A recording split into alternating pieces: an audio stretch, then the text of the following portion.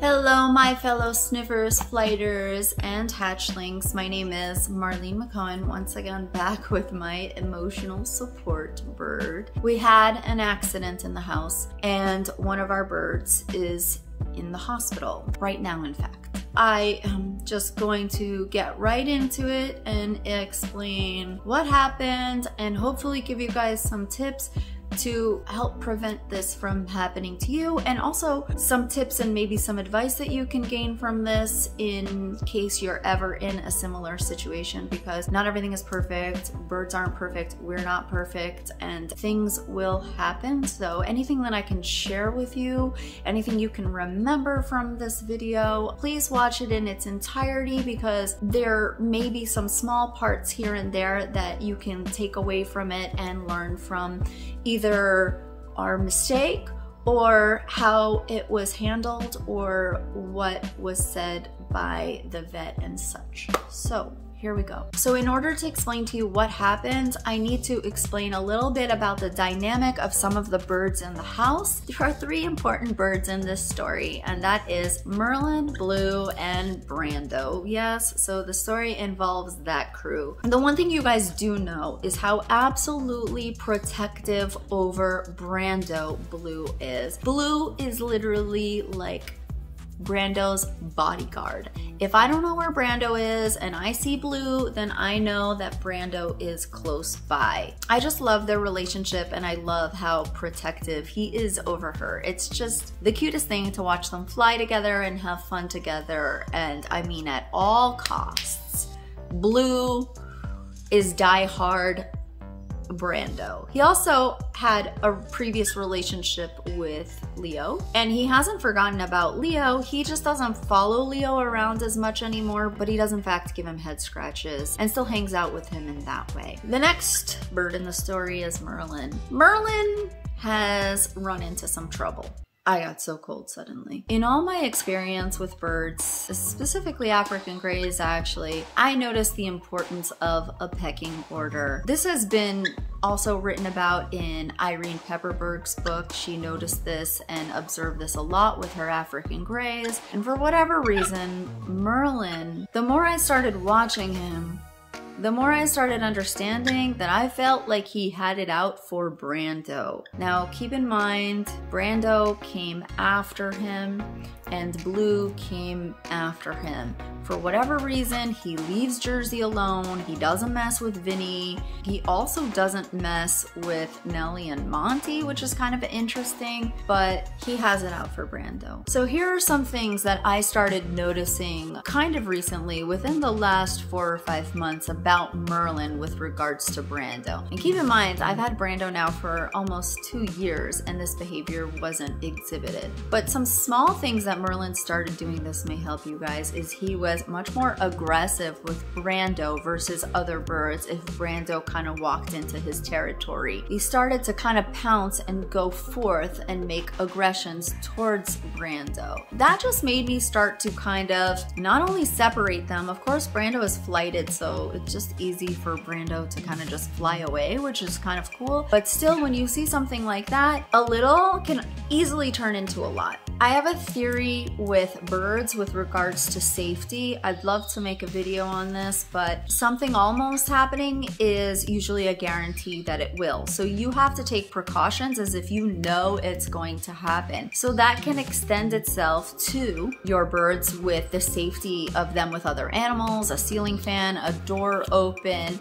and other birds. After I started noticing Merlin kind of going for Brando in that way, I started kind of of adapting like a separate schedule. All the birds can be out at the same time. Merlin can be included in that, but with supervision, obviously. All, your bird should be supervised at all times, but you know, sometimes you go in and out of a room. But Merlin specifically, I always had to know where he is at all times for other reasons too. Like one, he wants to eat the molding. Another reason I started becoming weary of Merlin was because Cody told me. I never saw him attack Cody, but when I started putting Merlin outside in the aviary, if Merlin was already out there, Cody refused to get in it. And Cody likes the aviary, so I knew something was off. And the refusal kind of translated to me as fear, and I knew she was scared of something. If your bird exhibits any kind of behavior of fear, take them seriously. I did, and I'm so glad I did because then those two birds could have been in there unsupervised, not even in a free area to escape. So after the Cody situation, I thought I really had it all under control because if Merlin went outside, he went outside to a completely different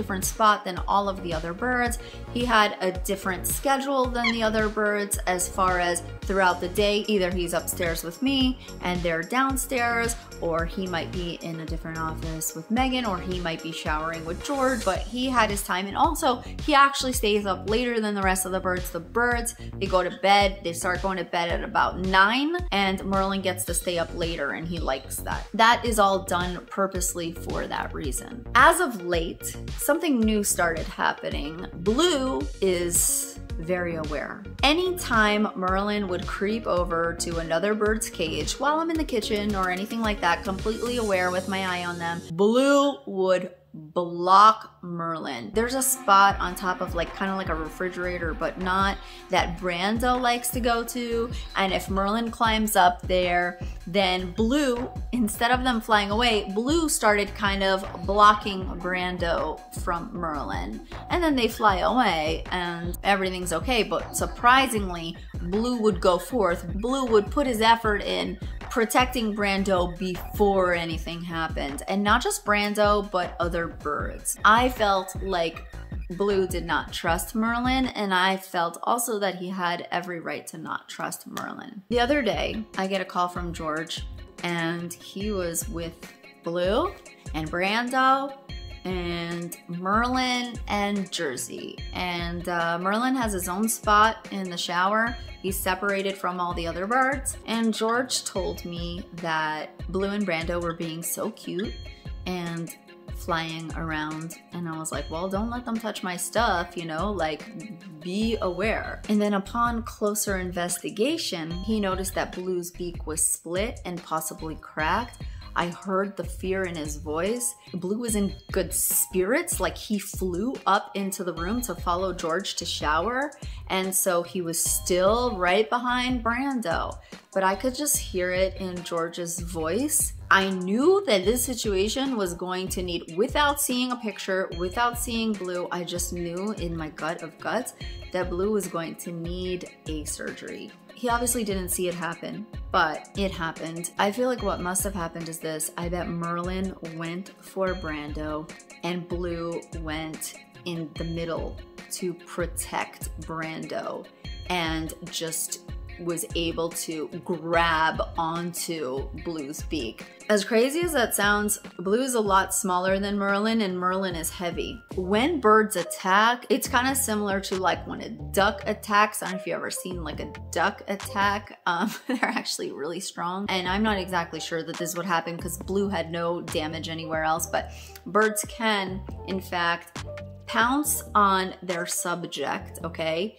And then they'll spread their wings and cover their subject so there's almost no way out, and then use their beak to attack their face. I'm not saying it was as dramatic as that, but I'm saying that it's it's what a bird can do to another bird. So I want you guys to be aware. And in a nutshell, the honest truth is that somewhere, somehow, Merlin was unsupervised with the other two birds who are flighted and can fly, yet this still happened. So I want you guys to be aware of that mistake. So serious decisions are going to need to be made. I don't want to blame anyone. I was not there when it happened, which also goes to show that sometimes, you know, you can never be too overprotective and you can never be too careful. I don't blame George for this. I don't know specifically how the birds got unsupervised or how this was missed because I wasn't included in this, but it's something I want you guys to be able to learn from. Don't be afraid to be too overprotective. Don't be afraid to have very strict rules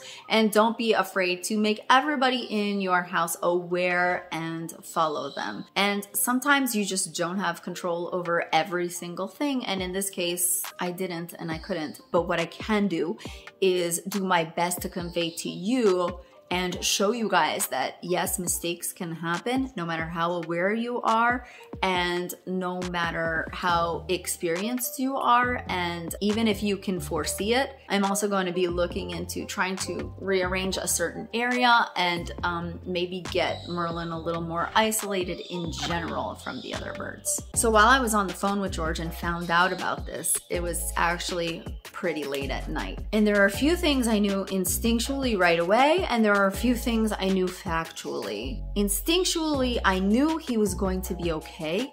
Instinctually, I knew that he was probably attacked by Merlin. Instinctually, I knew that he was defending Brando. And instinctually, I knew this was a different situation than any beak situation that I might have experienced before. I knew that I was gonna want him to go to a vet. A lot of beak injuries can heal on their own, but um, if you don't have any experience with them, you should always take your bird to the vet because you want your bird to have the best chance of eating properly later.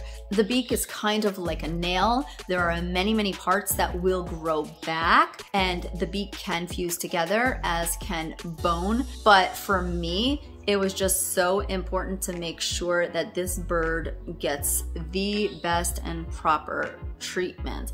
And I don't advise if you see any blood, any crack in the beak or anything, I don't advise you to not take your bird to the vet. I knew that I wanted him to have a surgery. What I did was I started calling around because the middle of the night to all the vets, the VCA vets, um, Access, um, every vet that I knew personally.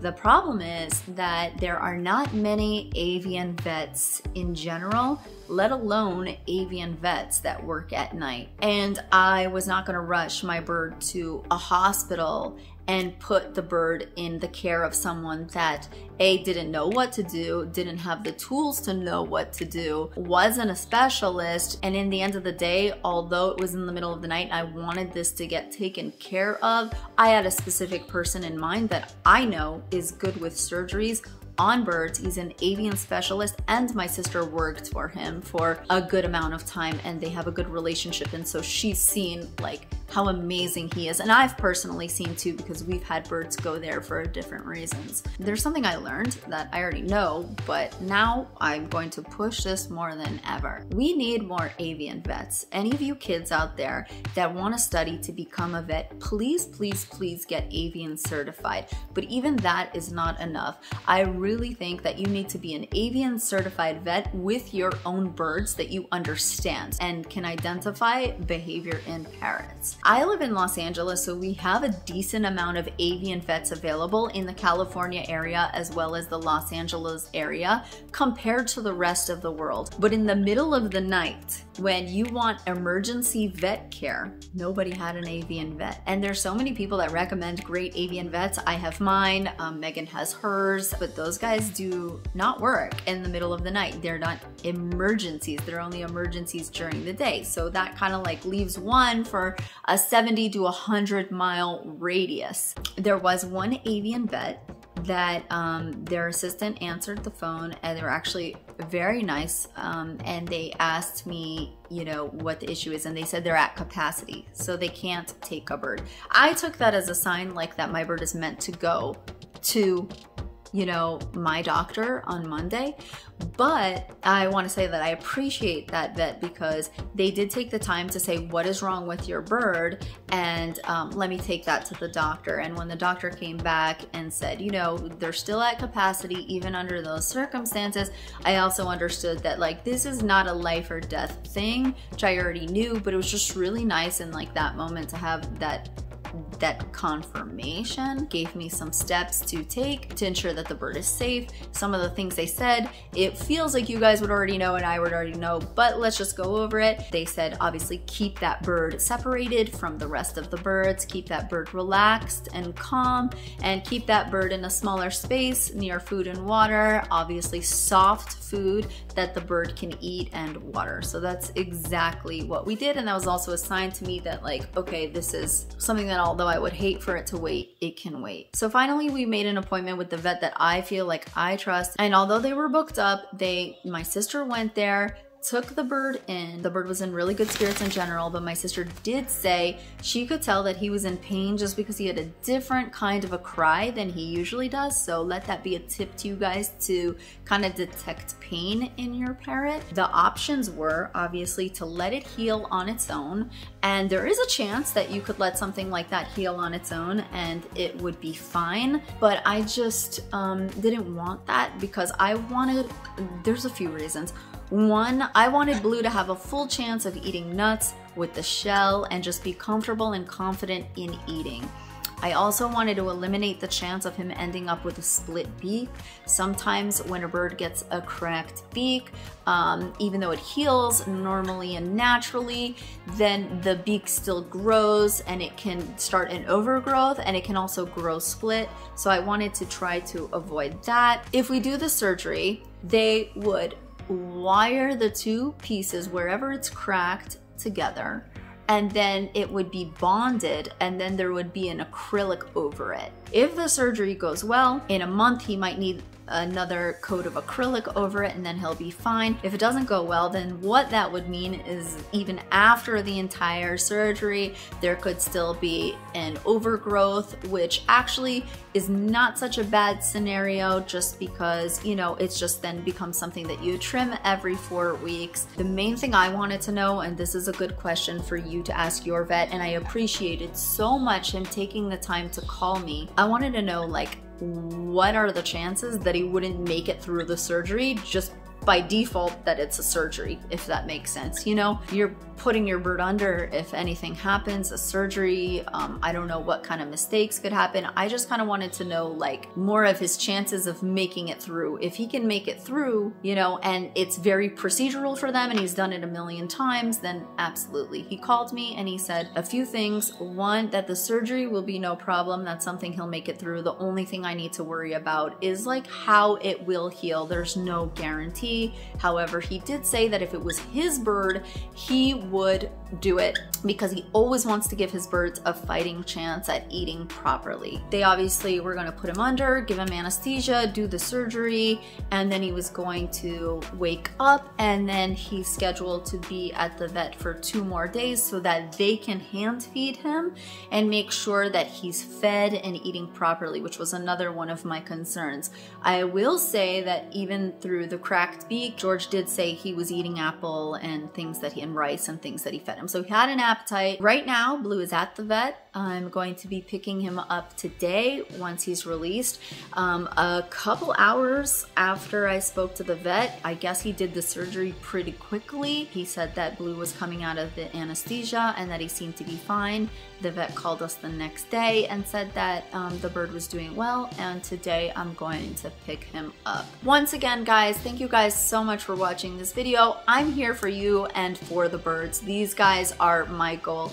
And we do a lot of entertaining things on this channel, but that's so that you guys can learn from us and living with the birds as family. I guess the last thing I would leave you with is uh, stick to your strict rules on how you do things and maybe what I could do better is definitely going over all of those with the people in my house and making sure that we're all on the same page. So maybe you guys need to do that too. I hope this video helps somebody and um, whether it's preventative or any other way. I love you guys so much. Don't forget to subscribe. Bye.